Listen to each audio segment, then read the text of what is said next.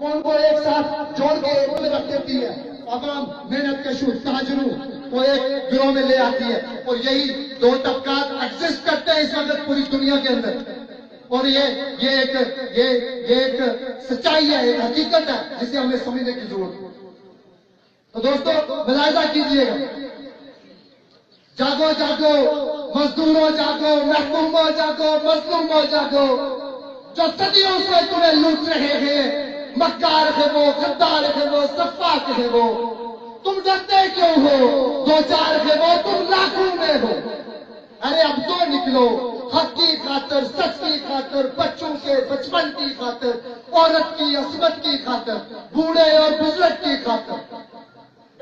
ارے آنکھیں کھولو، تاریخ کو سمجھو۔ تنقید کرو تم، تحقیق کرو تم تخلیق کرو تم۔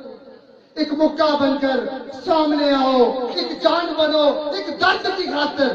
وہ یعنی کہ حکمران اور ان کے کاسالے وہ تم کو تقسیم کریں گے مذہب قوم قبیلہ میں، برادری نسل علاقہ میں۔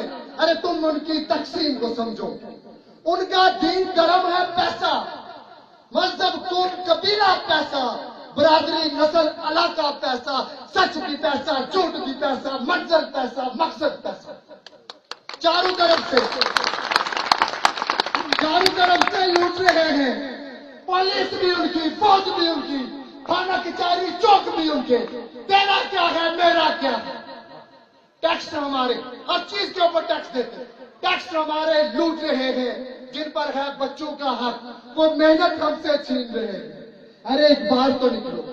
ایک بار تو نکلو۔ ادھر جا کے، یہ جو حکمران پاکستان جاتے ہیں اور پاکستانی حکمران جب یو این او کے سامنے پیش ہوتے ہیں تو ان کا ان کا ذرا تصور مراجہ فرمائیے گا۔ ادھر جا کر تم ہلائے۔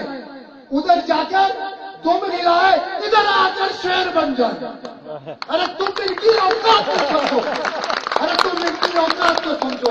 ایک بار تو نکلو۔ پھر منظر دیکھو۔ تم دبا کر بھاگیں گے۔ ان چوکوں اور چوراہوں پہ ایک جشن ہوگا۔ پھر تم رہو گے اور ہم رہیں گے۔ خوشحال کے دیش ہمارا ہوگا۔ پہنچ گئی